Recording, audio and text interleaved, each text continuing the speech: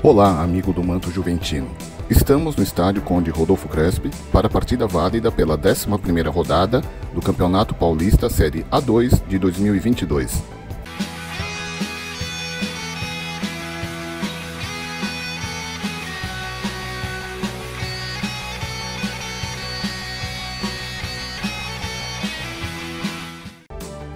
Hoje enfrentaremos a Associação Atlética Portuguesa, a Portuguesa Santista, fundada em 1917, campeão paulista da Série A2 de 32, 33, 34 e 64.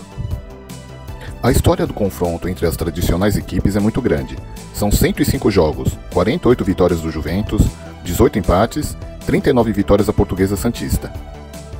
A maior vitória grená foi 6 a 2 em 8 de 10 de 1978. A maior derrota foi 6 a 1 em 12 de outubro de 1946. Tanto o Juventus como a Portuguesa Santista empataram seus últimos jogos em 0 a 0. Ambas jogaram fora. O Juventus em Taubaté e a Briosa em Monte Azul. Até o início da rodada, a Portuguesa Santista ocupa a 13ª colocação, entre 16 clubes participantes. Até o momento fez 9 pontos, tem 30% de aproveitamento. O Juventus chega nesta rodada no G8, na oitava colocação, com 14 pontos e 46,7% de aproveitamento. O Juventus busca a reabilitação, nas últimas seis rodadas, conquistou dois pontos de 18 possíveis. Passe curto. Masson, de novo Negueba. Vem levantamento na entrada da grande área. Professor Tuca Guimarães levou a campo o mesmo esquema tático utilizado em Taubaté, com o centroavante centralizado, Igor Bahia, e dois jogadores velozes, tanto pelo lado esquerdo como pelo lado direito, Masson e Dudu. Novamente, a equipe juventina sofreu no setor de criação é, encontrando muita dificuldade na transição do campo defensivo para o ofensivo. Bom momento para a equipe de Santos. Vem aberto, toque de cabeça, André E por outro lado, a portuguesa estava muito mais organizada e levando muito mais perigo ao gol de André Dias, que fazia das suas para evitar os gols. Tanto é que, no final do jogo, foi eleito mais uma vez o melhor em campo pela equipe da Web Rádio Moca.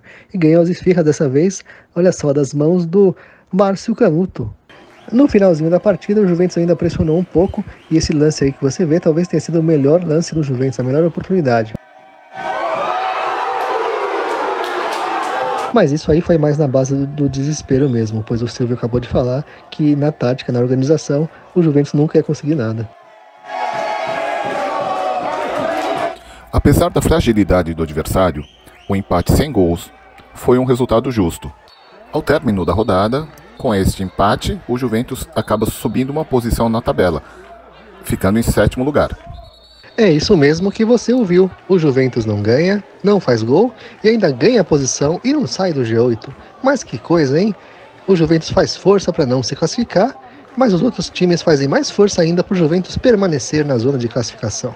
E já que a gente gosta muito de camisas de futebol, nosso destaque final dessa partida vai para esse interessante, bonito uniforme da Portuguesa Santista, branco e azul, com a Cruz de Cristo no peito, que nos faz lembrar também o belíssimo uniforme dos belenenses de Portugal. Muito legal. Ah, e por falar em, em uniformes aí, se você acha que a camisa do Juventus nova tá dando azar, se você preferia a camisa antiga, porque com ela o Juventus ganhou quatro jogos, né, e com a nova não ganhou nenhum ainda, é, nós temos um vídeo sobre esse assunto, você pode ver aí no card.